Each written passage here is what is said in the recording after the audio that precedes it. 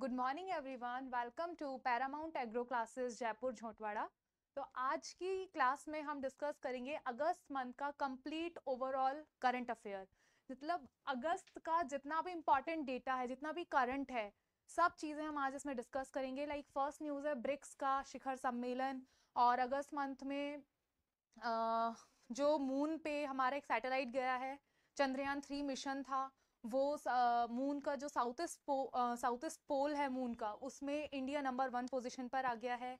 और भी important important important न्यूज़ेस हैं। राजस्थान से रिलेटेड राजस्थान में एक, राजस्थान को एक धौलपुर, करौली का एक टाइगर रिज़र्व मिला है, जो राजस्थान का फिफ्थ टाइगर रिज़र्व बना है। तो वो सब चीज़ें हम आज डिस्कस करेंगे इस वीडियो में, जिसमें राजस्थान से रिलेटेड नेशनल इंटरनेशनल सभी न्यूज़ेस हम इसमें कवर करते हुए चलेंगे। तो ज़्यादा टाइम वेस्ट नहीं करते हुए आज का सेशन स्टार्ट करते हैं। तो हमारी फ़र्स्ट न्यूज़ है ब्रिक्स शिखर सम्मेलन 2023 तो ब्रिक्स का शिखर सम्मेलन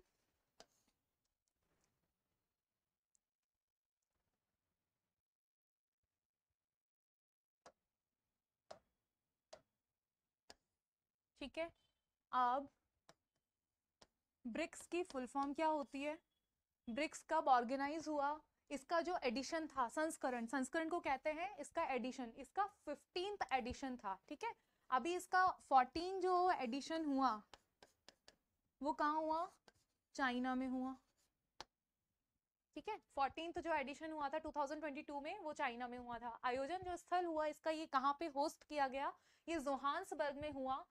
दक्षिण अफ्रीका में, जबकि फोर्टीन जो हुआ, वो चाइना में हुआ और जो फिफ्टींथ जो एडिशन है, वो कहाँ हुआ? दक्षिण अफ्रीका के जोहान्सबर्ग में जोहान्सबर्ग में। ब्रिक्स का फुल फॉर्म होता है, इसमें जो कंट्रीज़ का ही नेम है ये। तो इसमें क्या क्या इंक्लूड है? एक तो ब्राज़ील आर फॉर रशिया जिसे हम रूस कहते हैं इंडिया चाइना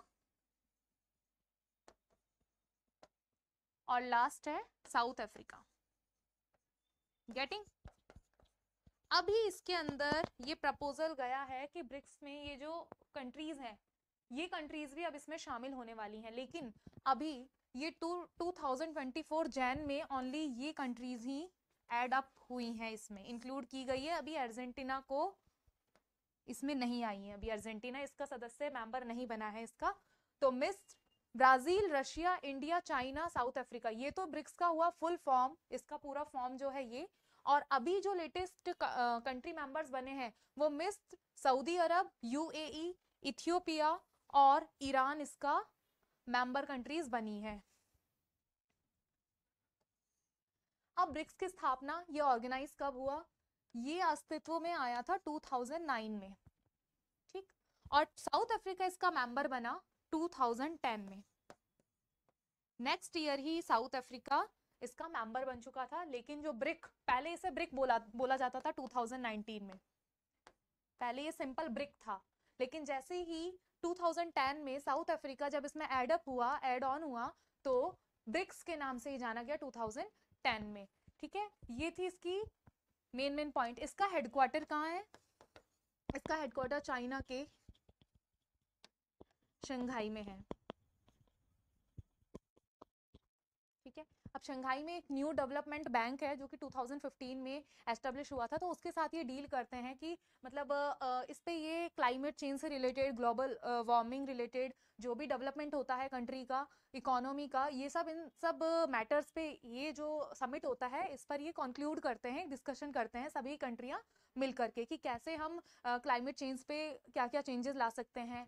ग्रोथिंग ऑफ़ ट्री, है ना, क्लाइमेट को बेहतर बनाने के लिए तो इन सब चीज़ों में इस समिट में ये सब चीज़ें डिस्कस होती हैं। गेटिंग तो ब्रिक्स शिखर सम्मेलन फिफ्टीन एडिशन था जोहान्सबर्ग दक्षिण अफ्रीका में कंडक्ट हुआ होस्ट हुआ, और ब्रिक्स में जो शामिल होने वाली सदस्य हैं, मिस्र, सऊदी अरब यूएई इथियोपिया और ईरान ये इसके कंट्री मेंबर अभी न्यू इंक्लूड हुए हैं। ये तो बहुत ईजी है ब्रिक्स की full form Brazil, Russia India China South Africa getting now move on next news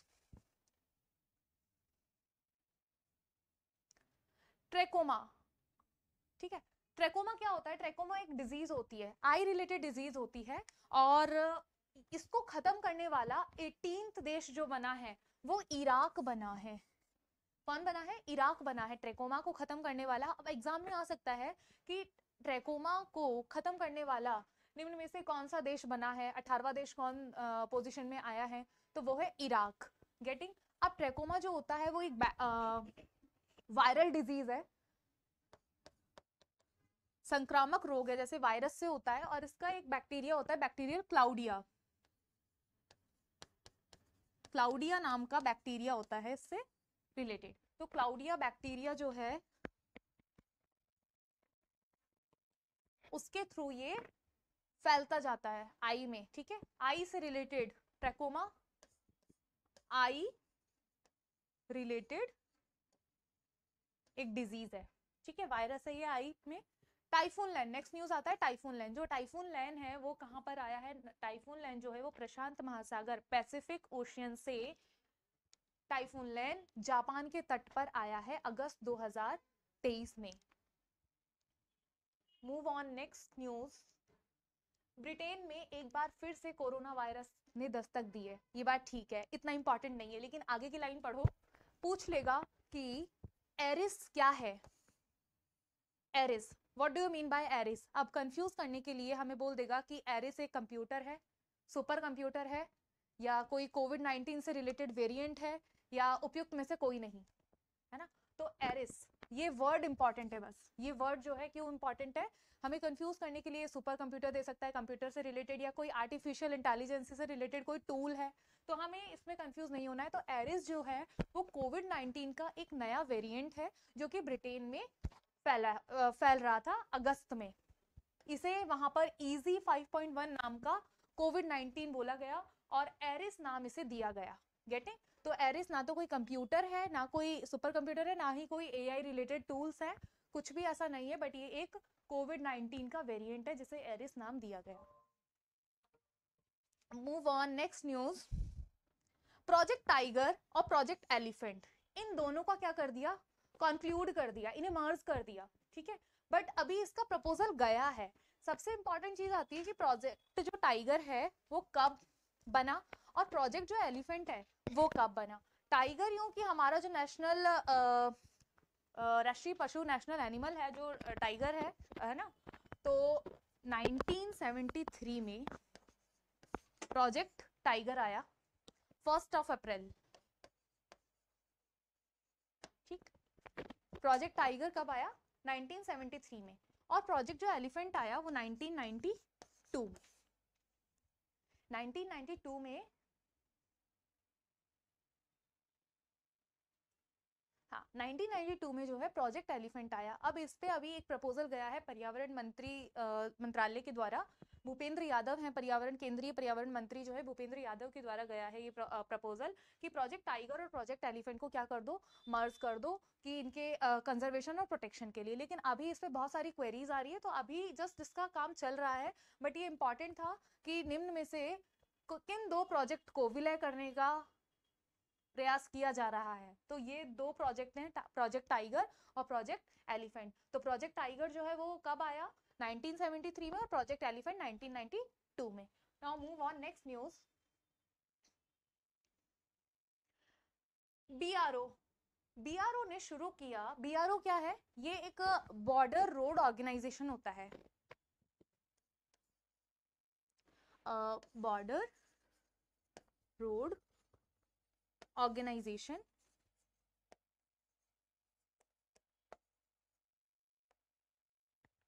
border road organisation होता है ये बीआरओ ये कब एस्टेब्लिशमेंट हुआ? 1960 के अंदर इसका एस्टेब्लिशमेंट हुआ और बीआरओ ने शुरू किया है विश्व की सबसे ऊँची सड़क का निर्माण। तो ये सबसे ऊँची सड़क का, विश्व की सबसे ऊँची सड़क कहाँ है? लद्दाख के डेमचौक सेक्टर में है। इंपॉर्टेंट है कि विश्व की सबसे ऊँची सड़क का निर्माण कहाँ किया गया है? तो जम्मू कश्मीर दे सकता है कंफ्यूज करने के लिए बट लद्दाख लद्दाख के डेमचोक सेक्टर में विश्व की सबसे ऊँची सड़क का निर्माण किया गया है और उस सड़क का नाम क्या है? लिक्रू मिगला फुकचे लिक्रू मिगला फुकचे नामक यह रणनीतिक सड़क जो है वो उन्नीस हज़ार चार सौ फीट की ऊंचाई से होकर गुजरेगी। इसका जो हाइट है, जितनी ऊंचाई है, इसकी हाइट पर है। तो ये इतनी फिट की हाइट पर है और लिग्रू मिगला फुकचे अब ये तो विश्व की सबसे ऊँची सड़क का निर्माण था। इससे पहले जो विश्व की सबसे ऊँची सड़क थी, वो भी लद्दाख में थी। वो भी लद्दाख में थी। अगर आपको याद हो तो उमलिंगला उमलिंगला सड़क। ये कब बनी थी? 2012 में। 2012 में इस पे वर्किंग हुआ था, सब चीज़ें इसमें। तो ये 2012 में बन के पूरी रेडी हो गई थी और यहाँ पे मोटर जो बाइक्स होती हैं वो यहाँ पे रन हुआ करती थी। लेकिन अब इससे भी बड़ी बन गई है विश्व की सबसे ऊँची सड़क, लिकरू मिगला फुकचे जो कि लद्दाख के डेमचौक सेक्टर के सेक्टर में है। गेटिंग और बीआरओ बीआरओ से बॉर्डर रोड ऑर्गेनाइजेशन होता है ये। 1960 में इसका एस्टेब्लिशमेंट हुआ और इससे रिलेटेड यही चीज़ें हैं जो मेन मेन ये तो आपका स्टैटिक में चला जाता है बीआरओ से रिलेटेड है ना? ये बीआरओ बॉर्डर रोड ऑर्गेनाइजेशन 1960 में ये बना, ये सब। Now move on next news national smart city awards 2022 में सबसे जो टॉप सिटी है, वो इंदौर है एमपी की। ठीक है? तो इसे लगभग छठी या सातवीं बार ये अवार्ड मिल रहा है कि सबसे स्मार्ट सिटी अवार्ड्स हैं। और ये जो अवार्ड्स हैं, किस मंत्रालय, किस मिनिस्ट्री द्वारा दिया जाता है, ये केंद्रीय आवास एवं शहरी कार्य कार्य मंत्रालय के द्वारा अनाउंस किए जाते हैं, घोषित किए जाते हैं, ठीक? तो स्मार्ट सिटी मिशन है ये, और India smart cities awards contest के विजेताओं की घोषणा करी है।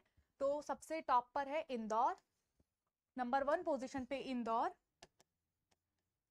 और नंबर टू पे अगर तो नंबर टू पे है सूरत।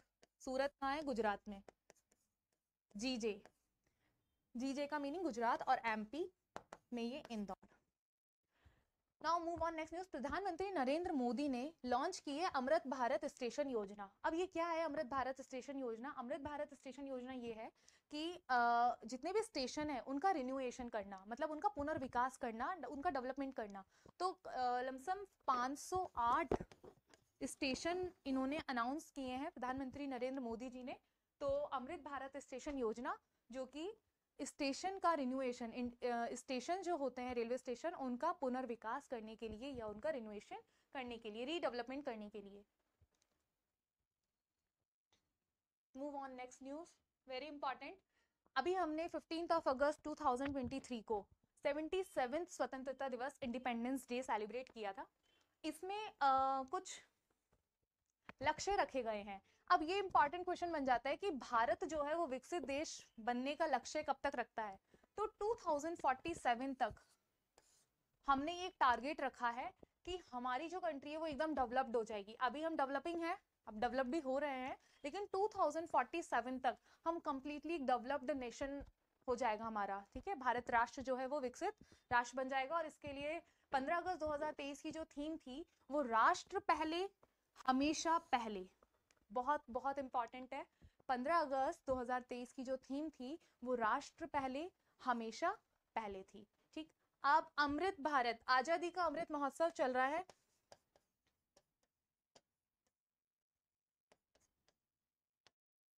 आज़ादी का अमृत महोत्सव।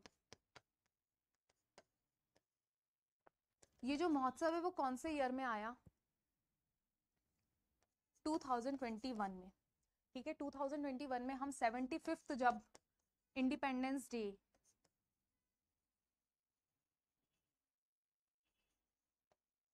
सेलिब्रेट कर रहे थे, तब ये इसमें आया। तो आज़ादी का अमृत महोत्सव हम कब से स्टार्ट करने लगे? 2021 से, ठीक है? 2021 में हमने सेवेंटी फिफ्थ इंडिपेंडेंट और 2022 में सेवेंटी सिक्स और 2023 में हमारा ये सतहत्तरवा स्वतंत्रता दिवस था और इसमें कोई स्पेशल गेस्ट वगैरह नहीं थे। ओनली नॉर्मल नरेंद्र मोदी जी ने ही लाल किले पर इन्होंने फ्लैग होस्ट किया था। वेरी इंपॉर्टेंट कि भारत का सबसे पहला जो आर्टिफिशियल इंटेलिजेंसी स्कूल है, वो कहाँ पर है? केरल राज्य में। दिख होगा। केरल राज्य ने अपने पहले एआई स्कूल की शुरुआत की है। अब केरल राज्य ऐसा पूरे भारत, पूरे कंट्री का एकमात्र राज्य ऐसा बन गया है कि भारत, केरल राज्य ने एआई स्कूल की शुरुआत संत गिरी विद्या भवन तिरुवनंतपुरम, केरल की कैपिटल तिरुवनंतपुरम है। तो ऑब्वियसली इसने तिरुवंतपुरम अपनी कैपिटल के अंदर ही ये पहला जो आर्टिफिशियल इंटेलिजेंसी बेस्ड स्कूल है, ये इन्होंने ओपन किया है। इसकी शुरुआत की है संतगिरी विद्या भवन तिरुवनंतपुरम। यस yes, मैंने स्टार्टिंग में डिस्कस किया था कि हमारे इंडिया ने एक हिस्ट्री क्रिएट कर दी है कि मून के चाँद के साउथ पोल पर पहुँचने वाला फ़र्स्ट कंट्री और एक चीज़ और बता दूँ ये जो सॉफ्ट लैंडिंग हुई थी मून पर तो यूट्यूब पर सबसे ज़्यादा लाइव स्ट्रीमिंग देखने वाला वीडियो यही बन गया था। एटलीस्ट एट मिलियन पीपल्स ने इसे व्यू किया था स्ट्रीमिंग लाइव जो स्ट्रीमिंग हुई थी जब सॉफ्ट लैंडिंग हो रही थी तो सबसे ज़्यादा यूट्यूब पर ज़्यादा देखने वाला जो वीडियो था, वो यही बना था, ठीक है? क्योंकि हमारी कंट्री ने एक हिस्ट्री रच दी थी। तो ये इमेज है, पूरा मून ये हमारी अर्थ है। तो यहाँ से ये सिक्स टायर्स का रोवर है ये, है ना? तो ये जब चलेगा ना तो इसके ऊपर ये हमारा जो नेशनल एम्बलम है तो वो मून की सतह पर उसकी छाप छोड़ेगा, उसका प्रिंट दिया जाएगा उसमें, जब ये चलेगा। तो ये बहुत ही अच्छी न्यूज़ थी। और हमने ये हिस्ट्री क्रिएट कर दी कि मून के साउथ पोस्ट साउथ पोल पर पहुँचने वाले हम फ़र्स्ट कंट्री आ गए हैं। ऐसा किसी भी देश ने नहीं किया अभी तक। अब बात करते हैं चंद्रयान थ्री मिशन की। यही इसी से रिलेटेड है। तो इस मिशन को क्या नाम दिया गया? चंद्रयान थ्री मिशन नाम दिया गया। और ये किसने? इसरो। ये इसरो का था। इंडियन स्पेस रिसर्च ऑर्गेनाइजेशन का ये चंद्रयान थ्री मिशन था। किसी डीआरडीओ वगैरह का नहीं था। इसरो ने ये होस्ट किया है कंप्लीट तो इसरो के Chandrayaan three Chandrayaan three mission के तहत लैंडर इंपॉर्टेंट है। इसका जो लैंडर का नाम है वो क्या है? विक्रम। और जो रोवर का नाम है वो है प्रज्ञान। रोवर का नाम क्या है? प्रज्ञान। और जो लैंडर है उसका नाम क्या है? विक्रम। कहाँ से कहाँ से इसे आ, भेजा गया है? आंध्र प्रदेश के श्री हरिकोटा स्थित। सतीश धवन जो स्पेस सेंटर है, वहाँ से L V M three M four rocket से इसे 14 जुलाई को लॉन्च किया गया था और ये कब पहुँचा? 23 अगस्त 2023 को 23 अगस्त 2023 को इसने सॉफ्ट लैंडिंग की। अब छह पहियों वाला स्टार्टिंग में इमेज में दिख रहा है? ये रहा।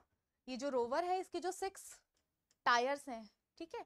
ये जो छह पहियों वाला रोवर है रोवर का नाम है प्रज्ञान। इसके चलते राष्ट्रीय चिन्ह। राष्ट्रीय चिन्ह अशोक स्तंभ। हमारा राष्ट्रीय जो चिन्ह है, वो नेशनल एम्बलम जो है, वो हमारा अशोक स्तंभ है और इसरो के लोगो की छाप, जो इसरो का लोगो है, इसरो का जो लोगो डिज़ाइन है ना तो उसका ये प्रिंट चंद्रमा की सतह पर छोड़ेगा। जैसे कि मैंने आपको स्टार्टिंग में बताया था, अब इंपॉर्टेंट चीज़ें देख लेते हैं कि इसरो के जो डायरेक्टर हैं, वो एस सोमनाथ हैं। बिल्कुल पता होना चाहिए। मिशन इस चंद्रयान थ्री का जो मिशन था इसको कौन हैंडल कर रहे थे? मोहना कुमार। अब ये पूछ सकता है, बहुत इंपॉर्टेंट है। इसरो के डायरेक्टर तो सबको पता है, ठीक है इट्स कॉमन है, ये तो कॉमन है। बट मिशन का डायरेक्टर कौन था? मोहना कुमार। और प्रोजेक्ट ये जो प्रोजेक्ट था, उसके डायरेक्टर कौन थे? P Veera Muthuvel P Veera Muthuvel mission के डायरेक्टर थे मोहना कुमार और प्रोजेक्ट की डायरेक्टर थी पी वीर मुथुवेल अब ठीक है, हमने सॉफ्ट लैंडिंग कर दी हिस्ट्री क्रिएट कर दी। अब इसके बाद में प्रधानमंत्री नरेंद्र मोदी जी ने 23 अगस्त को प्रति वर्ष एवरी ईयर राष्ट्रीय अंतरिक्ष दिवस मनाने का घोषणा की थी नेशनल स्पेस डे बहुत इंपॉर्टेंट है कि राष्ट्रीय नेशनल स्पेस डे जो है, वो 23 ऑफ़ अगस्त को हम सेलिब्रेट करेंगे। सेकेंड थिंग प्रधानमंत्री नरेंद्र मोदी जी ने कहा कि चंद्रयान थ्री का जो लैंडर विक्रम है, वो जब उसको टच पॉइंट है ना, जो मून की सतह पर उन्होंने जो टच पॉइंट किया विक्रम लैंडर ने, उसे कहा जाएगा शिव शक्ति पॉइंट शिव शक्ति नाम दिया गया उसको, जो विक्रम लैंडर है, जो उसने टच टचडाउन पॉइंट जो था, चंद्रमा की सतह पर, उसको शिव शक्ति नाम दिया गया. और चंद्रयान टू के मिशन का जो लैंडर विक्रम था, उसके टच पॉइंट को तिरंगा नाम दिया गया. बहुत इंपॉर्टेंट है. ये चंद्रयान टू सा टू का था। चंद्रयान टू टू जो है वो 2019 में हमने ये जो भेजा गया था, ये वाला मिशन जो था चंद्रयान टू 2019 में। लेकिन जब 2019 का जो विक्रम लैंडर है, उसके टच पॉइंट को कहा गया तिरंगा और चंद्रयान थ्री के जो विक्रम लैंडर के टच पॉइंट को कहा गया शिव शक्ति पॉइंट कहा गया। Now move on next news yes national smart city awards अभी डिस्कस करके आए हैं। इंदौर को मिला है एमपी के इंदौर को मिला है स्मार्ट सिटी अवार्ड में। अब हमारा राजस्थान जो है वो कौन से नंबर पर है? राजस्थान को मिला है इसमें थर्ड पोजीशन ठीक है? तो नंबर वन पर है इसका एमपी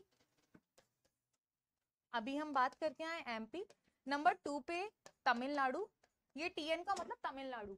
और थर्ड पे आया है हमारा राजस्थान।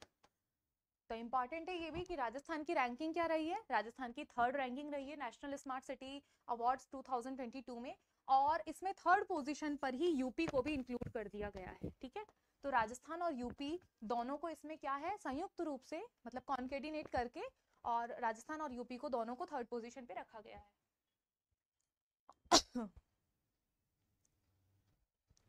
सीपीए का नाइन्थ भारत क्षेत्र सम्मेलन जो है वो उदयपुर में हुआ है। राजस्थान में आता है उदयपुर। राजस्थान उदयपुर झीलों की नगरी, है ना? उदयपुर को झीलों की नगरी कहा जाता है और यहाँ आया भी है ये रहा। ये जो सम्मेलन हुआ है, जो एसोसिएशन है, कॉमनवेल्थ पार्लियामेंट्री एसोसिएशन है और इसका जो नाइन्थ जो इंडिया एरिया है, वो झीलों की नगरी उदयपुर में होस्ट हुआ है 21 और 22 अगस्त को। और सम्मेलन का जो इनोग्रेशन है, उद्घाटन जो है वो लोकसभा स्पीकर, लोकसभा के जो हमारे स्पीकर हैं, अध्यक्ष जो हैं, वो ओम प्रकाश बिड़ला ने इसका किया है। किसी मुख्यमंत्री ने नहीं किया, किसी गवर्नर ने नहीं किया, इसका लोकसभा जो स्पीकर है, ओम ओम प्रकाश बिड़ला जी ने किया है। तो सीपीए का नाइन्थ जो भारत क्षेत्र सम्मेलन है और इसमें जो मेजबानी, जो होस्ट करने की जो रिस्पॉन्सिबिलिटी है, वो राजस्थान को पहली बार मिली है। फ़र्स्ट टाइम इसको ये ड्यूटी मिली है राजस्थान को कि ये जो स्टेट है, ये सीपीए कॉमनवेल्थ पार्लियामेंट्री जो एसोसिएशन है, उसका जो नाइन्थ इंडिया एरिया है, वो राजस्थान होस्ट करेगा राजस्थान में कहाँ पे? उदयपुर की उदयपुर झीलों की नगरी में हुआ है। यस yes, ये भी मैंने डिस्कस किया था कि अभी अगस्त में धौलपुर करौली जो है राजस्थान का फिफ्थ टाइगर रिज़र्व बनेगा। इससे पहले जो फोर है वो भी हम डिस्कस करेंगे। ये टाइगर रिज़र्व मिलेगा राजस्थान को। फिफ्थ जो टाइगर रिज़र्व है एक और बाघ अभ्यारण्य जिसे टाइगर रिज़र्व कहा धौलपुर करौली टाइगर रिज़र्व के रूप में होगा। अब इससे पहले जो फोर हमारे रहे हैं, अब केंद्रीय पर्यावरण, वन और जलवायु परिवर्तन जो मंत्री हैं भूपेंद्र यादव, ये भी हमने डिस्कस किया। प्रोजेक्ट जब टाइगर और प्रोजेक्ट एलिफेंट जब हम पढ़ रहे थे, द्वारा 22 अगस्त को सोशल मीडिया पर इन्होंने किया एनटीसीए अब एनटीसीए क्या है? ये नेशनल टाइगर कंजर्वेशन अथॉरिटी है। नेशनल टाइगर कंजर्वेशन अथॉरिटी बहुत इंपॉर्टेंट है ये भी NTCA national tiger conservation authority इसके जो हेड हैं इसके जो अध्यक्ष हैं वो प्रकाश जावड़ेकर है। आ, इसके जो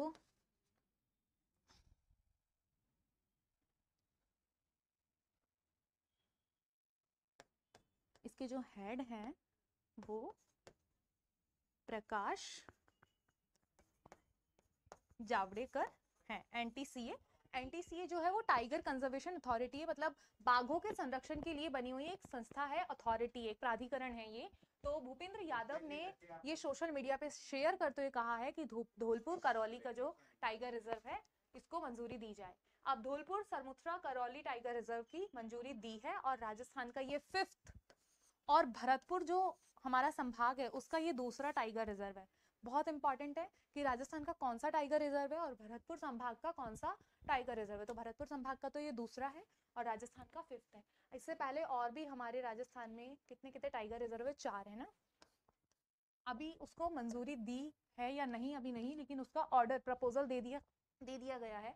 अभी तो चार है।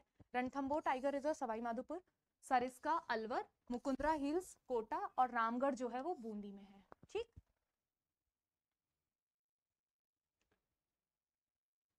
now move on next next news अब ये बात आती है, ये क्या है? ये हमारे राजस्थान के जियोग्राफिकल इंडेक्स जियोग्राफिकल इंडेक्स का मतलब सॉरी इंडिकेशन जीआई टैग्स हैं, ठीक है? ये हमारे जीआई टैग्स हैं। अब जोग्राफिकल इंडिकेशन क्या होता है? कि इसका मीनिंग होता है कि किसी भी स्टेट के जो भी मतलब इंपॉर्टेंट जो कलाएँ होती हैं उनको जीआई इंडिकेशन टैग्स दिया जाता है, ठीक है? भौगोलिक संकेत दिए जाते हैं और ये 10 साल तक वैलिड होते हैं। इनकी जो वैलिडिटी होती है ना टेन ईयर्स तक की होती है। ठीक है? पहला जो भारत का जीआई टैग मिला था, वो वेस्ट बंगाल की दार्जिलिंग की चाय, है ना? उसको मिला था, पहला जीआई टैग ठीक? तो राजस्थान के बारे में थोड़ा सा डिस्कस करना सही, ठीक? राजस्थान की नाथ द्वारा की पिछवाइयाँ कला है। नाथ द्वारा का मंदिर जो है हमारे राजस्थान में, इसकी जो पिछवाई कला है, वो बहुत इंपॉर्टेंट है। इसको जीआई टैग मिला है। जोधपुर की बंधेज कला, जो बंधेज कला होती है, वो कहाँ की फ़ेमस है? जोधपुर की है। कोफ्तगिरी मेटल शिल्प, यानी कि मेटल के ऊपर कुछ कलाकारी मतलब कुछ शिल्पकारी की जाती है तो ये उदयपुर की बहुत बहुत ज़्यादा प्रसिद्ध है। बीकानेर की उस्त कला, ठीक है? बीकानेर की भुजिया रसगुल्लों को भी मिला हुआ है, वैसे जीआई टैग अभी डिस्कस करेंगे। और बीकानेर की जो कशीदाकारी शिल्प है, उस पे उसको भी जीआई टैग मिला है। तो ये अभी latest one two three four five Rajasthan की फाइव जो जोग्राफिकल इंडिकेशन है, इन्हें जीआई टैग्स मिला है। ठीक है, राजसमंद की, नाथद्वारा मंदिर राजसमंद में है, ठीक है, सब जानते हैं। बंदेज कला कहाँ की फ़ेमस है? जोधपुर की। कोफ्तगिरी मेटल मतलब कुछ मेटल पे कुछ कलाकारी की जाती है तो वो उदयपुर की फ़ेमस है। बीकानेर की उस्त कला उस्त कला मतलब ऊँट की खाल के ऊपर कुछ डिज़ाइन जो करते हैं वो। और बीकानेर की जो कशीदाकारी शिल्प है, उन्हें मिला है। राजस्थान के सबसे पहले जो वर्ष है 2020 2006 में कोटा डोरिया को जीआई टैग मिला था। ठीक है? किसको मिला था? कोटा डोरिया को मिला था। इसके बाद जयपुर की ब्लू पॉटरी बहुत फ़ेमस है। मोलेला कले मोलेला मोलेला क्ले जो है, वो राजसमंद में है। राजसमंद की है ये। और राजस्थान की कठपुतली, सांगानेरी हैंड ब्लॉक जो प्रिंटिंग है, बीकानेरी भुजिया, अभी बात की थी मैंने बीकानेर की भुजिया, कोटा डोरिया लोगो, फलकारी, बगरू का प्रिंट, थेवा कला, मकराना का मार्बल। मकराना का मार्बल है नागौर में, ठीक है? थेवा कला प्रतापगढ़ की फ़ेमस है। बगरू प्रिंट अपने सांगानेर वाले एरिया से रिलेटेड आता है जयपुर की ब्लू पॉटरी है मोलेला क्ले जो है वो राजसमंद से रिलेट करती है मोलेला क्ले की जो वर्क है ये सब ठीक है? तो राजस्थान में और ये जो सारी जीआई टैग हैं वो 2031 तक वैलिडेट रहेंगे। Now move on next news हम आईपीएल बहुत देखते हैं है ना? तो ऐसे ही सेम उसी की तर्ज पर होता है राज, राजस्थान प्रीमियर लीग आरपीएल जिसे कहते हैं। ठीक है? अब आईपीएल में बहुत सारी टीम होती है, हमें सबको पता है। दिल्ली कैपिटल्स होती है, मुंबई इंडियंस होती है, चेन्नई सुपर किंग्स होती है, कोलकाता नाइट राइडर होती है, गुजरात टाइटन्स होती है, बहुत सारी टीम्स होती हैं। ऐसे ही सेम राजस्थान प्रीमियर लीग में प्रदेश की क्रिकेट प्रतिभाओं को एक प्लेटफॉर्म देने के लिए ये कंडक्ट किया जाता है और इसमें 19 मैच होते हैं। ठीक है? और अभी जो राजस्थान प्रीमियर लीग हुआ, उसका जो कमिंसमेंट है, शुभारंभ जो है, वो जोधपुर के बरकतुल्ला खां स्टेडियम में हुआ है, ठीक है? तो बरकतुल्ला खां स्टेडियम कहाँ पर है? जोधपुर में है और आरपीएल यहाँ पे हुआ है। टोटल 19 मैच होते हैं, जिसमें से नाइन मैच तो होते हैं, जोधपुर के बरकतुल्ला में हुए हैं। और जो रिमेनिंग टेन है, वो सवाई मानसिंह स्टेडियम जयपुर में हुए हैं, ठीक है? क्योंकि जयपुर कैपिटल है तो जयपुर में भी होस्ट होता है, ठीक है? तो जोधपुर और जयपुर। अब आरपीएल में जो टीम्स होती हैं, वो सिक्स होती हैं। उनके नाम नेम्स देख लेते हैं। जयपुर इंडियंस जोधपुर सनराइजर ये तो नॉर्मल याद हो जाएगा, जयपुर इंडियंस और जोधपुर। अब बात आती है भीलवाड़ा बुल्स ठीक है? कोटा चैलेंजर्स कोटा भी इंपॉर्टेंट है। उदयपुर लेक सिटी और सीकर शेखावाटी शोल्डर तो ये सिक्स टीम जो है, वो पार्टिसिपेट करती हैं। टोटल 19 मैच होते हैं। जिसमें से नाइन जो होते हैं, वो बरकतुल्ला खां स्टेडियम जोधपुर में होते हैं और जो रिमेनिंग टेन टेन होते हैं, वो जयपुर के सवाई मानसिंह स्टेडियम में होते हैं। पूछ लेगा आरपीएल में कितनी टीम्स खेलती हैं? सिक्स सिक्स खेलती हैं। जयपुर इंडियन जोधपुर, कोटा और उदयपुर लेक सिटी और सीकर, शेखावटी शोल्डर एक Bhilwara bulls. Now move on next news अब best heritage tourism destination of the year award देश दुनिया में विशेष पहचान रखने वाले राजस्थान को best heritage tourism destination of the year award से नवाजा गया है। तो सबसे ज़्यादा टूरिज़्म जो पर्यटनों की दृष्टि से बहुत अच्छा मन को भाने वाला जो प्रदेश है, वो हमारा राजस्थान है और इसे हेरिटेज कला संस्कृति में तो वैसे भी राजस्थान बहुत आगे है तो इसे फ़र्स्ट अवार्ड मिला है, ठीक है? और चेन्नई में ये होस्ट हुआ। ठीक? चेन्नई में ये होस्ट हुआ और वर्ष का सर्वश्रेष्ठ best heritage tourism destination of the year award जो है वो राजस्थान को मिला है।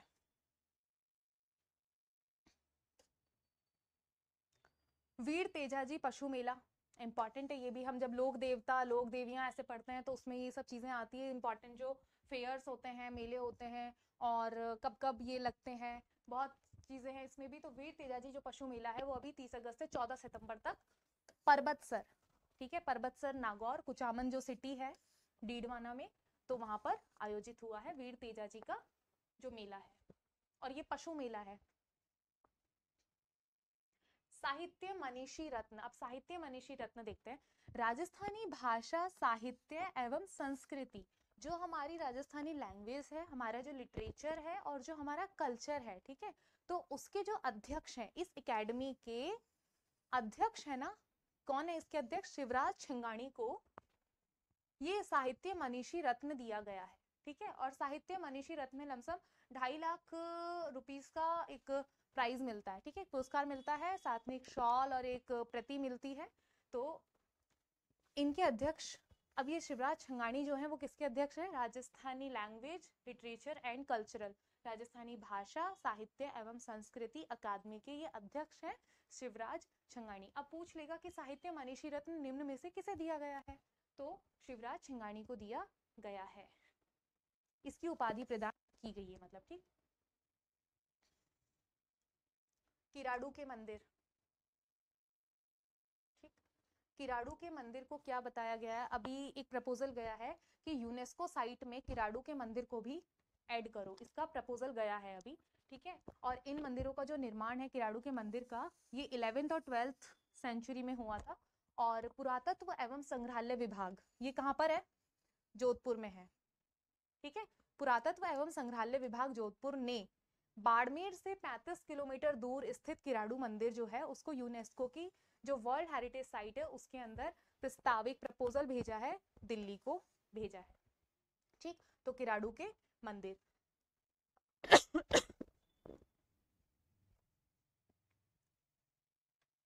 ये भी बहुत इंपॉर्टेंट है कि राजस्थान में ओम शेप का जो शिव टेंपल है, वो कहाँ पर है? राजस्थान का जो ओम आकृति का जो शिव मंदिर है, और कौन से लॉर्ड को बिलोंग करता है, किस लॉर्ड का है, किस भगवान का है, कि गॉडेज लक्ष्मी का है विष्णु का है, ब्रह्मा जी का है किसका है? तो ये शिव जी का मंदिर है। ठीक है, नाम से भी पता चल रहा है, ओम शेप का है तो ओम से तो शिव जी मंदिर होगा। तो जाडन गाँव है, ठीक है? जाडन गाँव अब कहाँ पड़ता है? देखते हैं, राजस्थान के पाली ज़िले की, ठीक है? पाली ज़िले की मारवाड़ तहसील के जाडन गाँव में ओम की आकृति का ये जो मंदिर है, ये बनकर तैयार हो चुका है। तो ये ओम शेप का ये मंदिर इस तरीके से डिज़ाइन किया है। बहुत ही प्यारा मंदिर लग रहा है। ठीक है तो जार्डन गाँव में ओम आकृति का जो शिव मंदिर है, ये प्रिपेयर हो चुका है, बनकर पूरा रेडी हो चुका है। राजस्थान के पाली ज़िले में। अब देखते हैं, इस ओम इमारत को छीतर पत्थर से, अब छीतर एक पत्थर की क्वालिटी होगी और किसी का पत्थर का कोई बहुत अच्छा पत्थर होगा तो उस पत्थर से बनाया गया है। और इसके अंदर चार खंड हैं आई I मीन mean चार पिलर्स हैं, उसके ऊपर ये टिका हुआ है। अंदर एक भूगर्भ भी बनाया हुआ है, जिसमें तीन खंड ज़मीन के ऊपर है और बीचों बीच में इसके जो स्वामी माधवानंद है, ये स्वामी माधवानंद, इनकी समाधि है। और इसके चारों ओर सप्त ऋषि जो हैं, उनकी मूर्तियाँ हैं। ऑपरेशन अलर्ट, ठीक है? ऑपरेशन अलर्ट क्या है? कि जैसे बॉर्डर सिक्योरिटी फोर्स होती है बीएसएफ तो वहाँ की बॉर्डर के ऊपर जब कुछ घुसपैठ हो जाती है या कोई भी ऐसी कोई घटना हो जाती है तो उसके लिए ऑपरेशन अलर्ट चलाया गया अभी किसने चलाया है? बीएसएफ ने बॉर्डर सिक्योरिटी फोर्स द्वारा। ठीक है? बीएसएफ बॉर्डर सिक्योरिटी फोर्स ये एक दिसंबर 1965 को एस्टेब्लिश हुआ है। मैंने आपको फ़र्स्ट जो इससे पहले की करंट अफेयर की क्लास थी, उसमें मैंने C I S F C R P F और आई टी बी पी इनकी सारी एस्टेब्लिशमेंट बताई थी और इन्हीं के सारे जितने भी डायरेक्टर जनरल हैं, वो सब भी बताए थे। तो वो आप मुझे कमेंट सेक्शन में एक बार ही बताना और बीएसएफ ने कौन सा? भारत पाकिस्तान की जो घुसपैठ हो जाती है तो ये ऑपरेशन अलर्ट चलाया है। ये भी बहुत इंपॉर्टेंट है कि अब तक प्रदेश में कितनी कुल नगर निगम हो चुकी हैं? अब तक हो चुकी हैं ग्यारह। पहले दस थी, अब अलवर को भी नगर निगम के रूप में अनाउंस कर दिया है कि नगर परिषद अलवर को नगर निगम में क्रमोन्नत कर दिया गया है, ठीक है? तो इसके साथ ही अब प्रदेश में कुल कितनी हो गई है? इलेवन हो गई है। पूरे इलेवन के नेम्स देख लेते हैं। अजमेर, बीकानेर, जयपुर ग्रेटर, जयपुर हेरिटेज जोधपुर उत्तर, जोधपुर दक्षिण, कोटा उत्तर, कोटा दक्षिण, उदयपुर, भरतपुर और अलवर। गेटिंग तो कितनी प्रदेश में हो गई है कुल? 11 नगर निगम हो गई हैं। राष्ट्रमंडल युवा खेल। ठीक है? राष्ट्रमंडल युवा खेल इसका 2023 ये इसका कौन सा एडिशन था? इसका सेवेंथ एडिशन है। ठीक? और 4 से 11 अगस्त को ये होस्ट हुआ और कहाँ पर हुआ? पोर्ट ऑफ़ स्पेन ठीक है? टोबू और त्रिनीदा, त्रिनीदाद में ये होस्ट हुआ है। मेजबान जो कंट्री रही है, वो ये रही है। इसमें 68 जो कंट्री है, उन्होंने पार्टिसिपेट किया। और जो स्पर्धा रही है सात खेलों की रही है 93 कंपटीशन रहे हैं इसके अंदर ठीक है? तो राष्ट्रमंडल युवा खेल सातवां संस्करण था पोर्ट ऑफ़ स्पेन में ये कंडक्ट हुआ है। हम्म, अब इसका जो मोटो है वो क्या है? इसका मोटो जो है वो क्या था? इसका motto one heart one nation और one spirit one heart, one nation, one spirit, राष्ट्रमंडल युवा खेलों के सातवें संस्करण का आयोजन त्रिनिदाद और टोबोगो। ये कंट्री के नेम है टोबेगो, ठीक है? त्रिनिदाद त्रिनिदाद एवं टोबेगो के पोर्ट ऑफ़ स्पेन में यहाँ पे किया गया। सेवेंथ एडिशन था, ठीक है? इसका जो ध्येय वाक्य था मोटो जो था, वो था one nation, one heart one heart, one nation और वन स्पिरिट।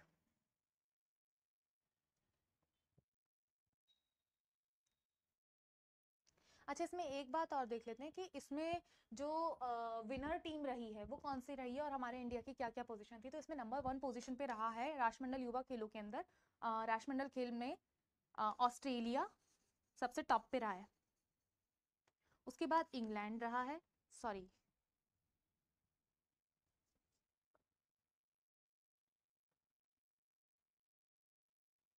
हाँ। इसके बाद में इंग्लैंड रहा है। Number two position. और जो इंडिया है, इंडिया की जो पोजीशन है, वो सेवनटीन रैंक मिली है। इंडिया जो है हमारा सत्रहवें स्थान पर रहा है सेवनटीन पोजीशन पे इंडिया की पोजीशन रही है, ठीक है? फ़र्स्ट पे ऑस्ट्रेलिया, सेकंड पे इंग्लैंड और सेवनटीन पे इंडिया। अब बात करते हैं फीसू। फीसू जो है ना, ये वर्ल्ड यूनिवर्सिटी गेम्स कंडक्ट करवाती है, ठीक है? वर्ल्ड यूनिवर्सिटी गेम्स है, इसका जो एडिशन था वो थर्टी वन था। ये अट्ठाईस जुलाई से आठ अगस्त तक होस्ट हुआ। मेजबान जो कंट्री थी, वो इसकी चेंगदू, चाइना में हुआ ये FISU world university game China में हुआ। थर्टी फ़र्स्ट इसका एडिशन था। प्रतिभागी जो टीमें थी, वो 116 टीम्स ने इन्होंने पार्टिसिपेट किया। और इसका जो मोटो था, वो Chengdu makes drams dreams come true ये ड्रीम्स आएगा। ठीक है? Chengdu makes dreams come true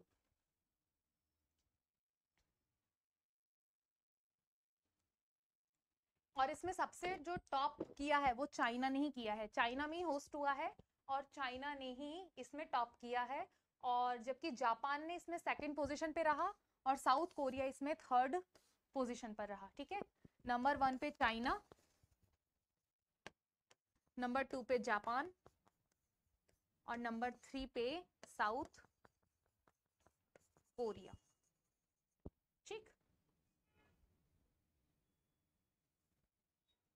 इसमें हमारे इंडिया की रैंकिंग क्या रही है? भारत ने 11 टोटल 26 सेवन इसमें पोजीशन रही है। टोटल कितने जीते इसने?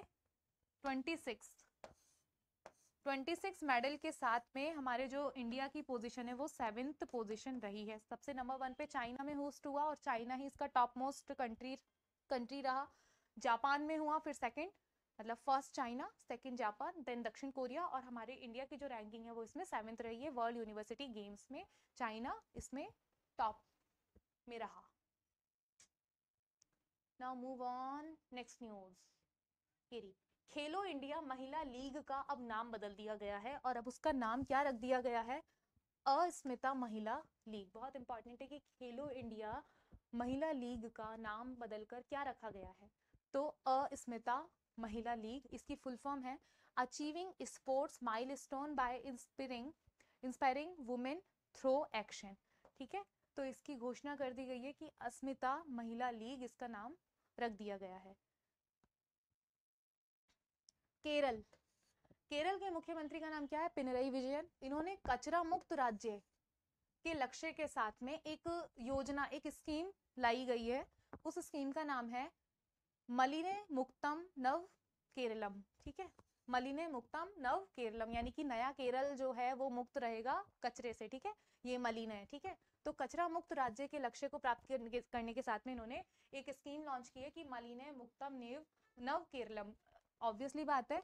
लास्ट में केरल आ रहा है तो सबको पता होगा कि ये केरल के, केरल राज्य में स्टार्ट हुई है और केरल के सीएम ने इसे लॉन्च किया है, जो कि सीएम है पिनरई विजयन, ठीक? बस। और 2024 तक का इसका एक टारगेट है कि इस समय तक हम अपना अपशिष्ट प्रबंधन है, उसको बढ़ाना है। अब बात करते हैं इंडियन कि। इंडिया में सबसे ज़्यादा जो जीआई टैग है आप तमिलनाडु के मेटी केला को भी एक जीआई टैग अभी बताया था जीआई टैग होते हैं ज्योग्राफिकल इंडिकेशन यानी कि किसी भी भौगोलिक एरिया में जितने भी इंपॉर्टेंट जो वनस्पतियाँ होती हैं, कुछ भी इंपॉर्टेंट चीज़ होती है या कोई भी आपकी कला होती है, कुछ भी तो उसको जीआई टैग्स दिया जाता है, ठीक है? तो तमिलनाडु के मैटी केला को जीआई टैग ठीक है? तो तमिलनाडु के कन्याकुमारी ज़िले की एक मूल किस्म है ये केले की, ठीक है? तो मैटी बनाना को इस अनूठी विशेषताओं और गुणों के लिए जीआई टैग दिया गया है। और एक प्रसिद्ध केले की किस्म है ये, ठीक है? तो जो मेटी केला है, केले की एक किस्म है।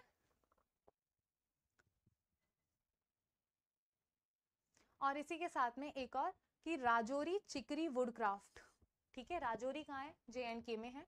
और मुश्क बुद्धजी चावल, राजौरी चिकरी वुड क्राफ्ट है, एक लकड़ी की क्राफ्ट है राजौरी। और मुश्क बुद्धजी मुश्क बुद्धजी क्या है? एक चावल की किस्म है, जो कि जम्मू कश्मीर की वो जम्मू कश्मीर में इसको जीआई टैग मिला है। तो तमिलनाडु में मेटी केला को मिला है जम्मू कश्मीर में एक वुड क्राफ्ट को मिला है जिसका नाम है राजौरी चिक्की और दूसरा है मुश्क बुद्धजी चावल की जो किस्म है उसको। अब इसी के साथ में इंडिया जो है इंडिया में सबसे ज़्यादा जीआई टैग पूछे आपसे कि किस राज्य में सबसे ज़्यादा जीआई टैग्स मिले हैं? तो सबसे ज़्यादा जो जीआई टैग्स मिले हैं ना oh,